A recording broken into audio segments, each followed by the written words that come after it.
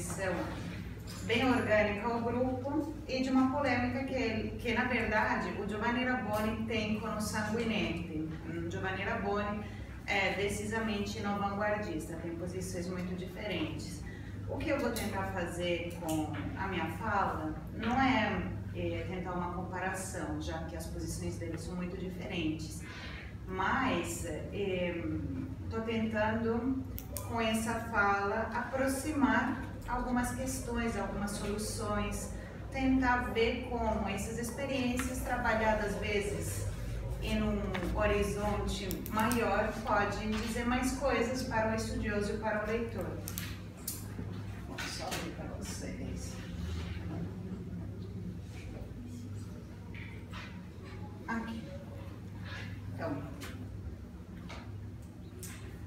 como eu disse, vamos considerar os exemplos específicos de Giovanni Raboni, que, enfim, faz parte de uma linha lombarda da poesia, uma poesia mais ligada aos objetos, uma poesia mais do cotidiano, e Eduardo Sanguinetti.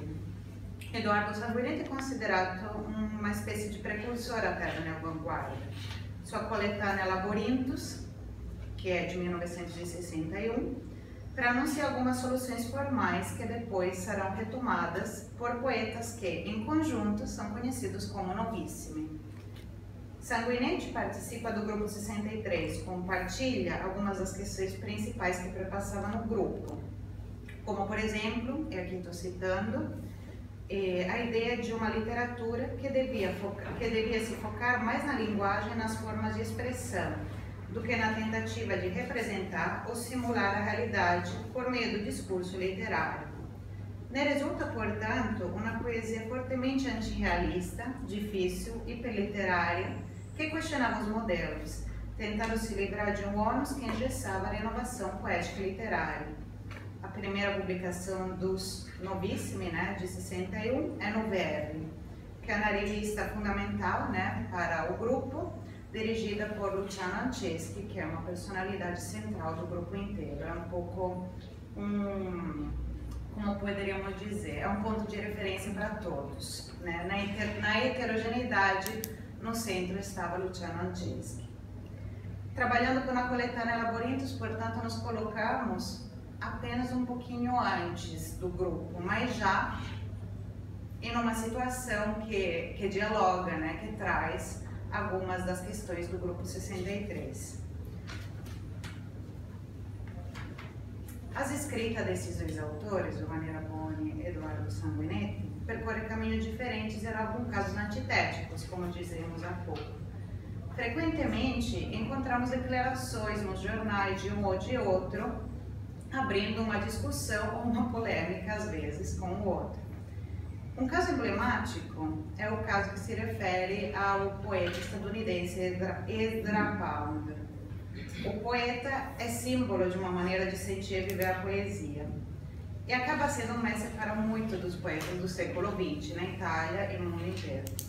Entretanto, Rabone coloca algumas diferenças, tanto na maneira de ler seus versos, como na forma em que estes são elaborados e devolvidos à página escrita no processo de criação. Bom, vou ler a citação para vocês. Para mim, esse era Rabone, a tradução é minha Deveria estar aqui, mas não está funcionando. Para mim, sempre funcionou o binômio Pound-Elliot. Entendi a Pound por meio de Elliot. Uma das minhas contendas com a vanguarda era que sua maneira de ler Pound me parecia muito menos inventiva e rica do que a minha. De Pound, eu extraía consequências que tentavam não ser miméticas, enquanto o Pound que passa no primeiro sanguinete é um Pound literal. Me irritava que eles empunhassem o Pound, que eu lia há muitos anos e tentava metabolizar. Lá não havia metabolização, na minha opinião. De todas maneiras, a leitura de Pound e Hélio após a guerra foi fundamental. Arbone afirma, portanto, que encontra profundamente distante as leituras de Pound na vanguarda, chamando para discurso sanguinento em si, passível de crítica de ser, mais às vezes, um imitador formal que não, que não é elaborador, digamos. Raboni também afirma a importância de Eliot nessa mediação que permite chegar até o núcleo duro da poética desse poeta tão difícil de entender às vezes. Essas declarações, sem serem consideradas verdades absolutas e sem cair na armadilha de pensar um mundo poético feito de contrapostos, que se enfrentam constantemente, permite, porém, ter uma ideia de como essas relações, mesmo em sua problematicidade, fossem presentes e perpassassem pelo panorama italiano. Para contextualizar melhor o quadro de fundo, em que nós estamos tentando orientar, vamos trazer outra citação sempre de Raboni, que fala de forma aberta e abrangente da neovanguarda em geral. Última tentativa, se não der. Ah, em relação à neovanguarda, a dificuldade da minha relação com eles está no fato de que havia realmente uma certa coincidência de interesses, que, porém, era resolvido de modo diferente. Talvez houvesse mais contágios do que não víamos, então, contatos. Lembra além da minha amizade com o Maiorino, a relação muito intensa que tinha com Antônio Porta. Havia ligações bastante estreitas entre os menos avançados da minha vanguarda os mais interessados em alguma forma de experimentação dos poetas lombardos.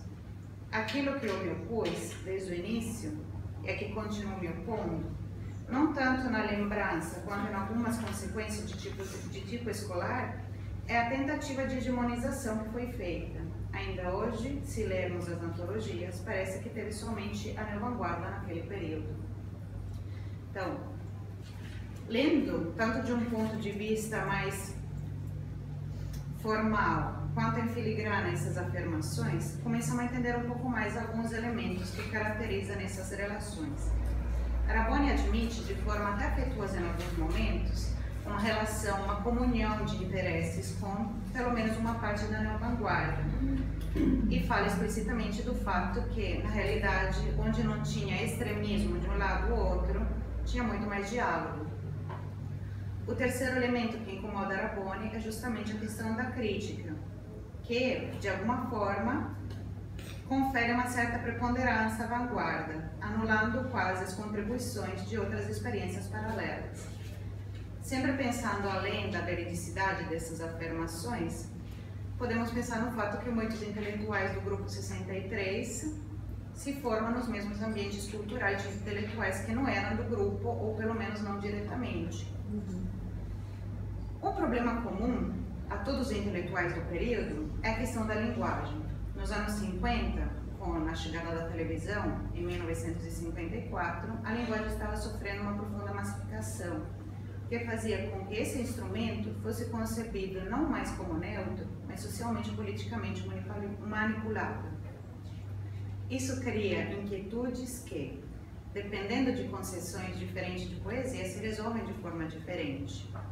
A necessidade de repensar o próprio instrumento poético pode passar por vários viés. Raboni, por exemplo, busca uma base sólida numa poesia figurativa, como ele chama a sua própria poesia.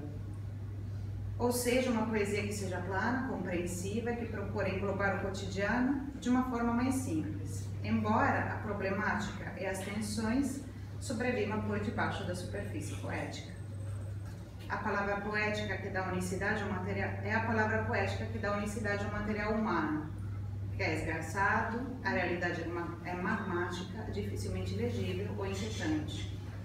Por outro lado, Sanguinete, principalmente nos seus exórdios, coloca em primeiro plano este questionamento da linguagem, por meio da inclusão ao limite do claustrofóbico de outras linguagens, palavra de latim ou de outras línguas estrangeiras motivos hiperliterários, que tem como resultado, e aqui estou citando Enrico Testa, uma procedura compositiva che, mentre riprende gli istituti stilistici dell'avanguardia storica del Novecento, intellettualismo, plurilinguismo, visionarietà, tecnica del montaggio, dissoluzione delle norme,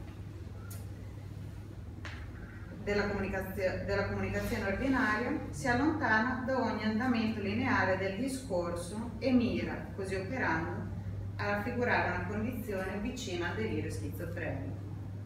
O universo labiríntico de Sanguinetti é caótico e asfixiante, dominado por, uma, por um constante sentido de claustrofobia e perpassando pelas exalações da palude, que é emblema da realidade.